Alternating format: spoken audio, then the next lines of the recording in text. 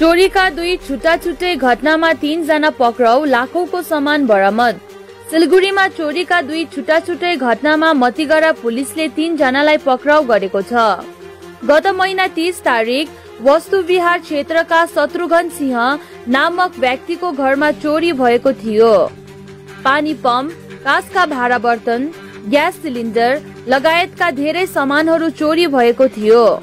घटना लगतै घर मालिकले मतिगरा पुलिस चौकीमा लिखित उजुरी दिएका थिए। घटनाको अनुसन्धानपछि पुलिसले हिज मतिगरा क्षेत्रबाट दुईजनालाई पक्राउ गरेको छ।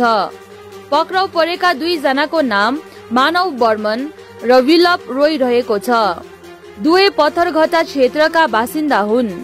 उनको घरबाट चोरी भएको सामानहरू सबै बरामद भएको छ।